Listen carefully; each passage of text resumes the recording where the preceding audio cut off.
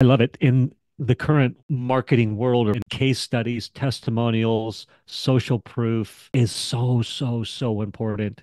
And the more authentic, the better. So helping somebody get that case study, I think, especially if you're looking to scale and break, really break past your sphere of influence or your your current social media network which is what so many people are trying to do is break through that network. So you're gathering the stories, you're using AI to summarize it, give it that, that those first passes.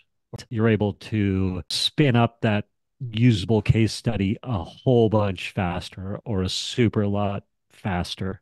And then you can put the final touches on it and, and refine it and make it super juicy and and keep that that nuance in there. So when the human is reading it and or watching it they're relating to it and not the computer.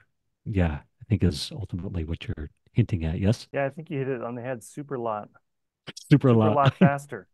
Super like, lot faster the advantage you have is not only are we are we sitting and listening and doing that interview but now we we have that firsthand knowledge to know how it should look and sound and feel for the end result. And so having, you know, then having generative AI then summarize it and us then making sure that it is right and, and it sounds good uh, gives us a great product at, at a competitive price. And I think that's the the key that you know we we want to talk about. This is not tens of thousands of dollars. This is whatever five six hundred dollars to do a case study.